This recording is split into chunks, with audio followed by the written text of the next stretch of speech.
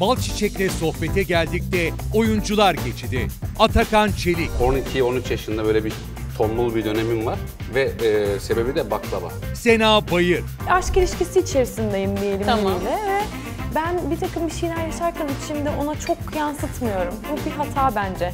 ve Sinan Çalışkanoğlu. Benim oyunculuğa başlamamın sebebi annemdi. Ben işte çıkardım düğünlerde bir şeyler falan anlatırdım böyle. Annem bende o şeyi görmüş galiba. Nerede? Bal Çiçek'le sohbete geldik yeni bölümüyle Pazar günü Kanal D'de.